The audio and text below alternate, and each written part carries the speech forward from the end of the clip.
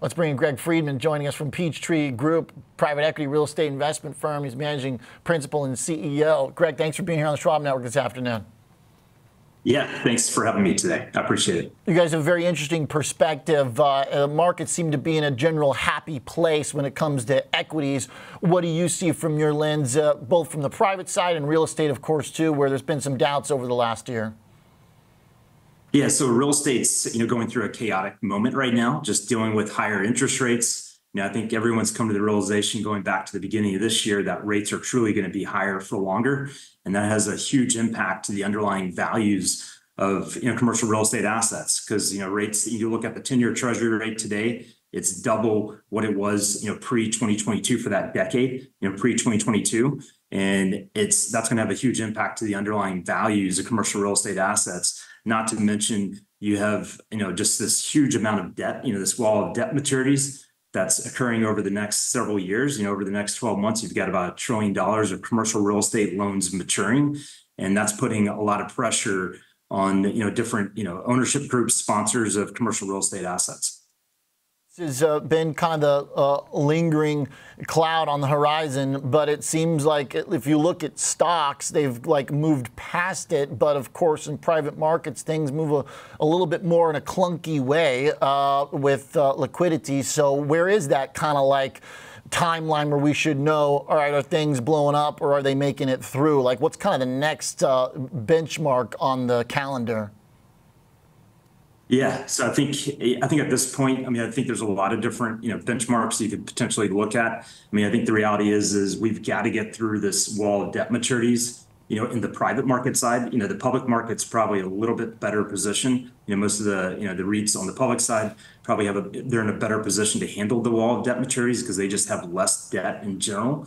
Most, you know, private owners of commercial real estate carry, you know, higher leverage points and that's going to be the you know as the debt is maturing that's going to really be the, the big event that's going to cause you know more pressure on underlying values of assets today. And so i think that's that's where people should really pay attention to. Um, not to mention just seeing where rates settle over the next you know over the next 12 to 18 months because if the 10-year treasury stays above 4% that's going to you know really impact the underlying cap rates how these assets are valued long term. And potentially you could see some cap rate you know expansion versus you know compression that some people are expecting over the next couple of years so the uh, rates come down that many are expecting, but again, like U.S. stocks have basically kind of found this place where they're like, all right, we aren't going to cut, but we're also not going to hike. But it seems like a different story when it comes to real estate, when it comes to private markets too. Did they need relief? Like, did they need cuts, Greg, for the math to add up? Yeah, I mean, you, definitely need, you know, you, you need the math. In order for the math to add up, you do need interest rate cuts for the private side, you know, as well as even the public side. You know, both sides would benefit greatly with interest rate cuts because, you know, right now you've got, you know, the, the loans that are maturing. These were loans that were originated for the most part in a much lower interest rate environment. And now the, the debt cost is two to three X. And that's, you know, impacting values. That's impacting the ability to be able to pay debt service and that's you know that's causing the stress on the underlying assets. How much of this comes from office real estate that is struggling? Uh, are there other uh, kind of low-hanging fruits that you see it being as being at risk?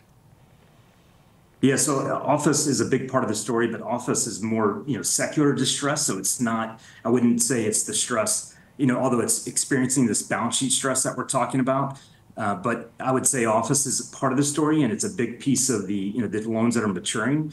But by far, you know, multifamily, industrial, a lot of these other property types are experiencing you know the same challenges. Hotels as well on the balance sheet stress side. So you know it's pretty much across the industry.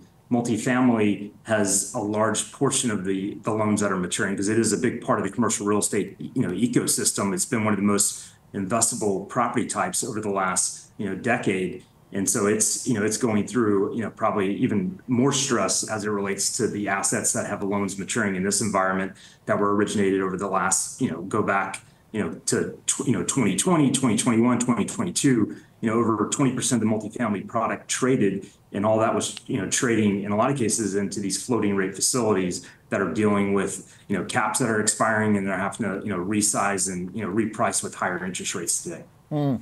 And uh, will these uh, uh, companies, will these institutions have any outlet uh, if rates don't come down? Can there be combinations? Can there be M&A?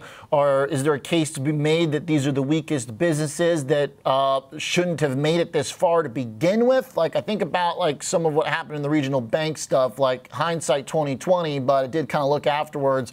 A lot of these were subjected to kind of higher risk clientele, speculative assets, and then they didn't really have much else in their business model. They get acquired by a big bank. Suddenly it looks like it kind of makes sense. Are there other outlets like that for any of these industries?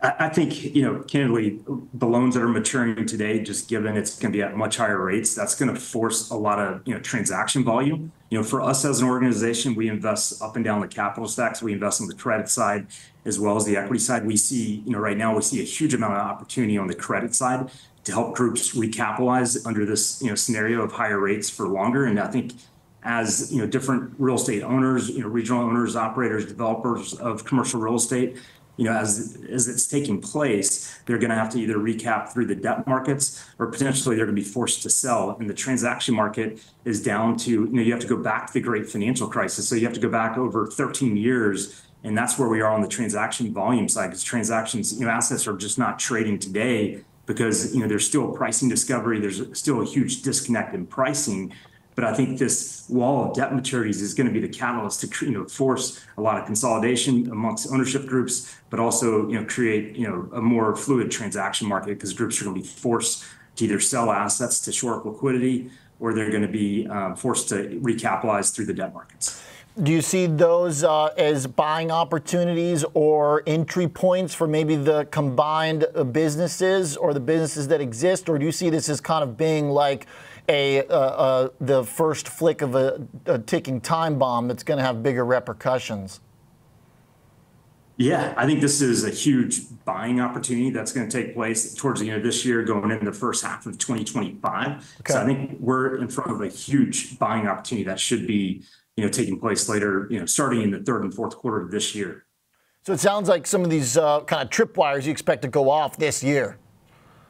That's right. I think we're going to start seeing it if we don't real, cut. I mean, we're seeing it right now. Yeah, we're seeing it in real time right now as loans are maturing. We're seeing you know the actual opportunity set to go in and buy assets more opportunistically, as well as just the need you know for additional capital. Because as you mentioned, you know regional banks, community banks make up 40% of the you know commercial real estate credit markets, and they're just not lending at the same level today.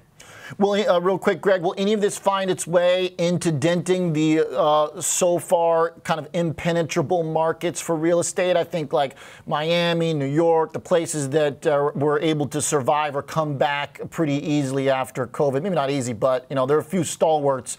Uh, places like Texas too uh, that did very well.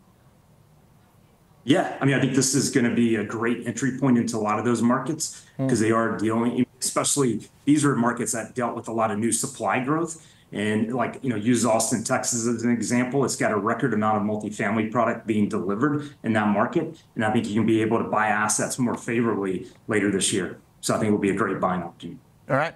Uh, a little dose of reality. Thanks, Greg. Appreciate it. Thank you. I appreciate your time. Yeah, unique take and uh, helpful for us keeping our head on a swivel. Eyes from inside the private real estate world. Greg Friedman, Peachtree Group.